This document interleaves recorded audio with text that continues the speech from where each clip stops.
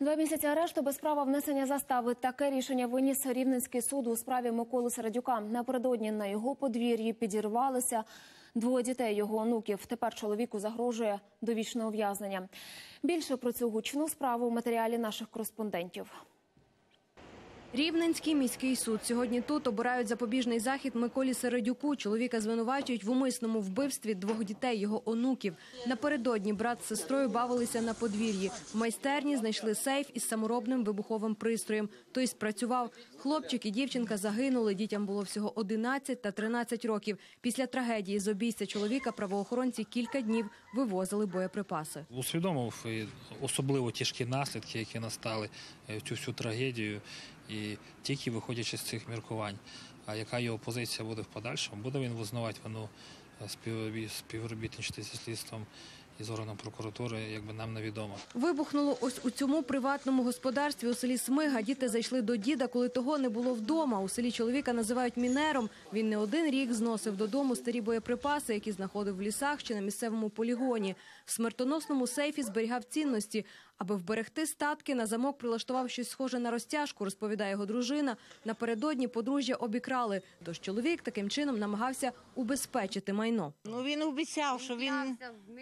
Що він не буде більше робити нічого такого невибухового.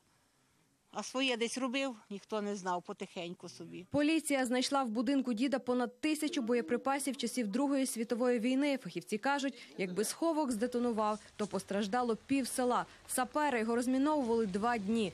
За таке небезпечне хобі чоловіка вже карали. З 2002 року по 2014 дана особа вже чотири рази притягувалась до кримінальної відповідальності за незаконне поводження з боєприпасами, але е, в, трьох випадках е, йому давали умовний термін, і один раз він попав під амністію. Просто ніхто не розумів, е, що він десь випалював з цих старих снарядів е, тротил і е, робив саморобні вибухові пристрої. На суді Микола Середюк заходиться сльозами. Від нього відвернулися усі рідні. Каже, сумує за онуками і в жодному разі не хотів їхньої смерті. Втікати від правосуддя не збирається і хоче залишитися за ґратами. Присягається, більше боєприпаси додому не носитиме. Але я не думав, що воно таке сильне.